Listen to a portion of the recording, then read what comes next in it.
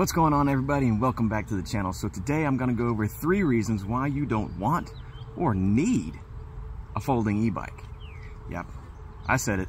Let's dive into it. Before we dive into this video, I wanted to let you guys know that my name is Bobby. My family and I, we live in a RV full-time and travel the US. We're looking for that that, that one place, that one town that just kind of grabs our attention that we want to settle down in eventually. So, number one, Okay, so living on the road full time, a lot of people in their RVs will take and put their bikes on a bike rack in the back of their RV. And we see so many times that, that people get their bikes stolen. So we thought, okay, we have enough space in our pass-through storage. We read on the reviews and on the website of many folding bike companies that their bikes will fold away to almost nothing and you can put them in a trunk, and I quote, trunk of a car you can put them in the closet in your apartment. You can also take them and store them under your desk if you uh, ride to work. That is so far from the truth.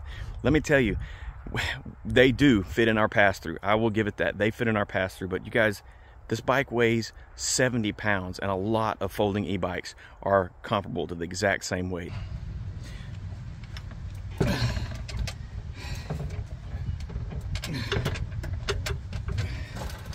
Yeah, it does fit, I promise. Oh gosh, let go of my leg.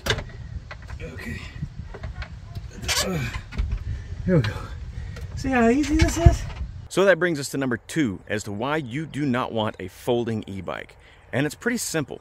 Once you get this thing folded up, okay, and it, again, it is 70 pounds, so if you deadlift it to wherever you're gonna deadlift it to, whether it be in the bed of your pickup truck or in your pass-through in your RV, it's not going in your trunk of your car. but once you get it there, it flops around. There is no locking mechanism to keep it secure and, and compact.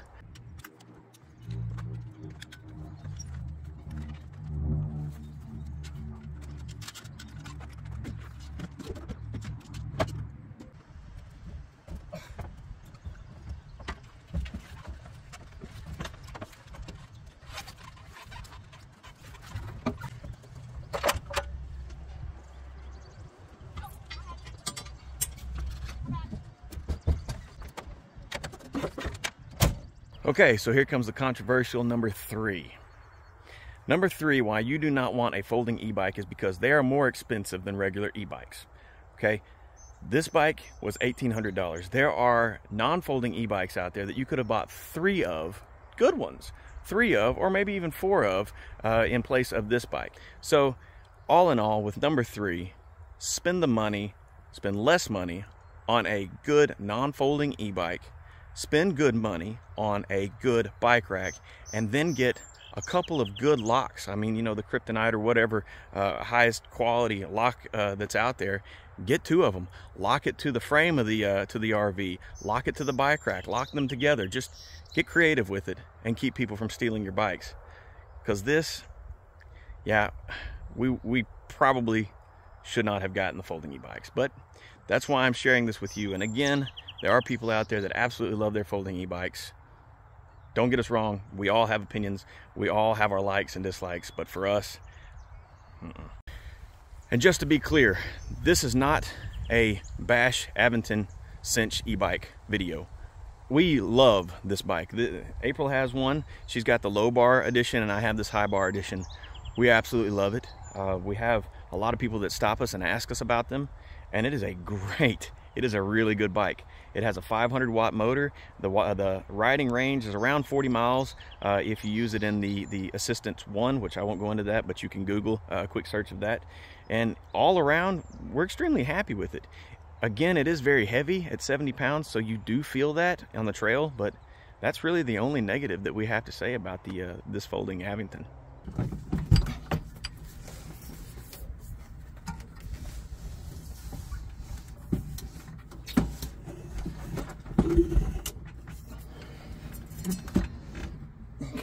So you can see we have the drop frame that goes down. So we have all this extra room here in the bottom so that we can fit the folding e-bikes in here. I do not think that you will be able to fit, unless you have a drop frame, the folding e-bikes upright. So you will have to lay them over uh, if you do get folding e-bikes to go through your pass-through storage. Well, there you have it. Those are our three reasons why you do not want or need a folding e-bike. Like Perry says, it's five o'clock somewhere. So until next time, safe travels, everyone.